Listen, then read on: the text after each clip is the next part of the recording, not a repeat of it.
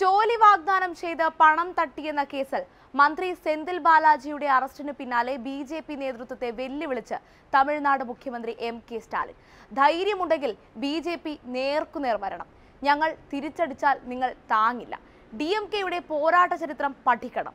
ചരിത്രം അറിയില്ലെങ്കിൽ മുതിർന്ന നേതാക്കളോട് ചോദിക്കൂ. ഇത് ഭീഷണിയല്ല മുന്നറിയിപ്പാണെന്നും സ്റ്റാലിൻ പറഞ്ഞു.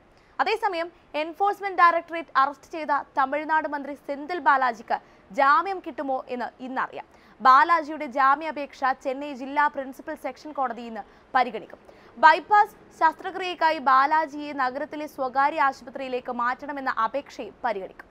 മന്ത്രിയുടെ ജീവൻ അപകടത്തിലാണെന്നും അറസ്റ്റ് ചെയ്ത രീതി മനുഷ്യാവകാശ ലംഘനമാണെന്നും അഭിഭാഷകൻ പറഞ്ഞിരുന്നു.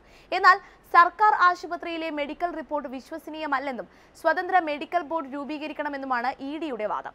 പതിനേഴ് മണിക്കൂർ നീണ്ട പരിശോധനയ്ക്ക് ശേഷം ഇന്നലെ പുലർച്ചെയാണ് തമിഴ്നാട് വൈദ്യുതി എക്സൈസ് മന്ത്രിയായ ബാലാജിയെ ഇ ഡി അറസ്റ്റ് ചെയ്തത്. ജോലി വാഗ്ദാനം ചെയ്ത് പണം തട്ടിയെന്ന കേസിലാണ് മന്ത്രിയുടെ അറസ്റ്റ്. മന്ത്രിയുടെ ഹൃദയധമനിയിൽ മൂന്ന് ബ്ലോക്ക് കണ്ടെത്തിയെന്ന മെഡിക്കൽ റിപ്പോർട്ട് ആശുപത്രി പുറത്തുവിട്ടിരുന്നു. സെന്തിൽ ബാലാജിയുടെ ഇരുപത്തഞ്ച് കോടിയുടെ ബിനാമി സ്വത്തുക്കൾ കണ്ടെത്തിയെന്ന് ഇ ഡി വ്യക്തമാക്കി. ബന്ധുവിന്റെ പേരിൽ വാങ്ങിയ സ്വത്തുക്കൾക്ക് പണം മുടക്കിയത് സെന്തിലാണെന്ന് ഇ ഡിയുടെ വാദം.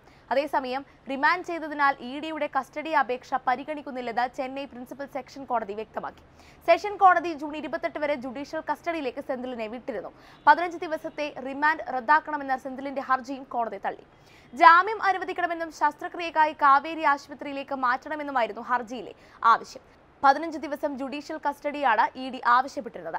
ആരോഗ്യസ്ഥിതി മോശമായ സെന്തിൽ ബാലാജി ഒമണ്ടൂറിലെ മൾട്ടി സ്പെഷ്യാലിറ്റി ആശുപത്രിയിൽ തുടരുകയാണ്. മന്ത്രി സെന്തിൽ ബാലാജിയുടെ അറസ്റ്റിന് പിന്നാലെ തമിഴ്നാട് സർക്കാർ സി ബി ഐക്കുള്ള പൊതുസമ്മതം പിൻവലിച്ചു. സംസ്ഥാന സർക്കാരിന്റെ അനുമതിയോ കോടതി നിർദ്ദേശമോ ഇല്ലാതെ ഇനി സി ബി ഐക്ക് സംസ്ഥാനത്ത് കേസെടുക്കാനാകില്ല.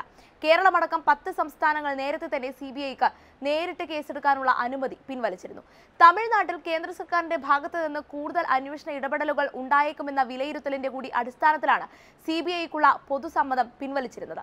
മന്ത്രി സെന്തിൽ ബാലാജിയുടെ അറസ്റ്റിന് പിന്നാലെ തമിഴ്നാട് സർക്കാർ സി ബി ഐക്കുള്ള പൊതുസമ്മതം പിൻവലിച്ചു. സംസ്ഥാന സർക്കാരിന്റെ അനുമതിയോ കോടതി നിർദ്ദേശമോ ഇല്ലാതെ ഇനി സി ബി ഐക്ക് സംസ്ഥാനത്ത് കേസെടുക്കാനാകില്ല.